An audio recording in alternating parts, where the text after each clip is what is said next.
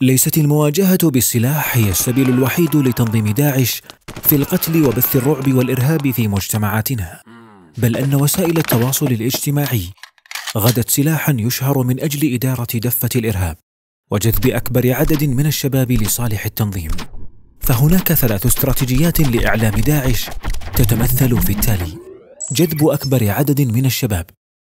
ترسيخ شرعية التنظيم فقهيا دفع المتعاطفين إلى مبايعة داعش.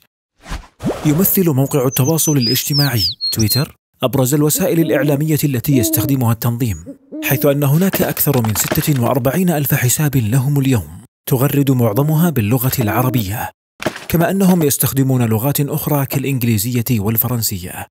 أما عن مصادر التغريدات فقد ثبت أن 28% يصدر من العراق وسوريا.